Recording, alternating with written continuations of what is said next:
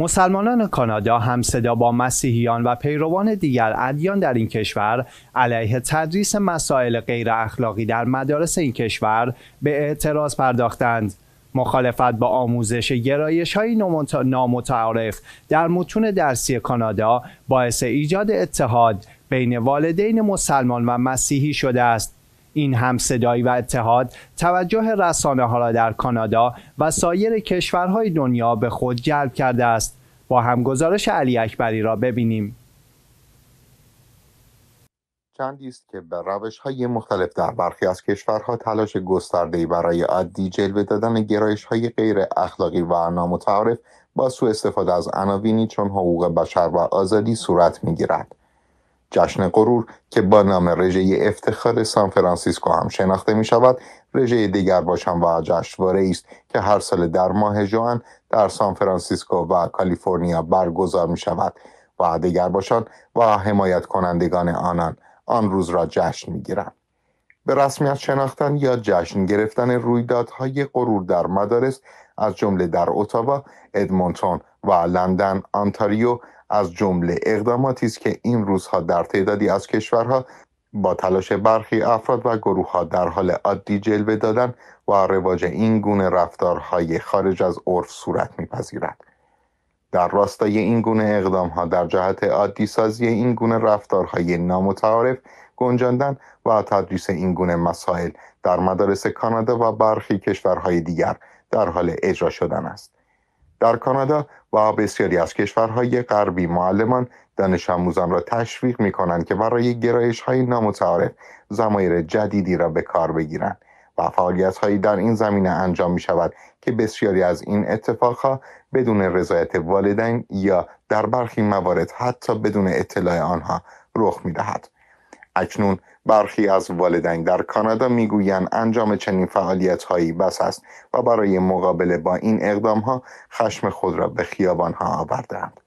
ماه گذشته نیز صدها نفر از والدین در مقابل سه مدرسه در اتاوا تجمع کردند و هفته گذشته هم جمعیتی در شهر میسیسیکا شهری در همسایگی تورنتو تجمع کردند مقاومت والدین در برابر این رفتارهای خارج از عرف در حال افزایش است تظاهرات گسترده مسلمانان کانادایی که همراهی تعدادی از مسیحیان و سایر اقلیت ها را با خود به همراه داشته باعث ایجاد چالش برای ترودو و حامیانش شده است. جاستین ترودو نخست وزیر کانادا مدت هاست که میکوشد خود را به عنوان صدای گروه های اقلیت معرفی کند و حزب لیبرال او تمام تلاش خود را برای جذب افرادی مانند مهاجران جدید، زنان، اقلیت های قومی و مذهبی و گرایش های نامتعارف انجام داده است.